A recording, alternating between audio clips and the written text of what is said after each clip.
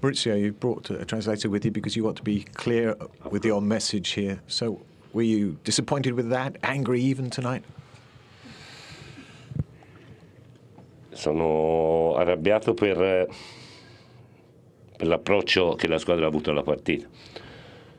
È chiaro che in, eh, contro squadre così forti puoi anche andare in difficoltà, ma le difficoltà si deve reagire in, in maniera molto più vigorosa.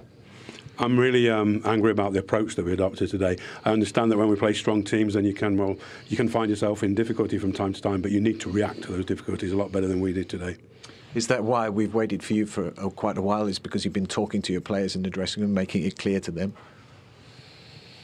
Yes, of course, but I think uh, penso che faccia parte del mio lavoro. E un tipo di approccio così l'abbiamo avuto a Tottenham l'abbiamo discusso molto, pensavamo uh, di poter risolvere.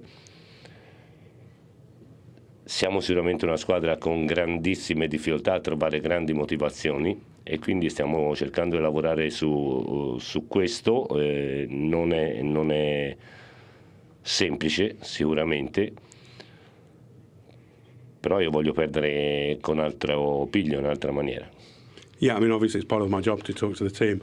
Um, it's a kind of approach which I don't think um, we can really accept. It's something that happened very much the same um, against um, Tottenham.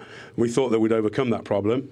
And yet, it seems to me that um, we find it very difficult to get up for the game, to be truly motivated for these games sometimes.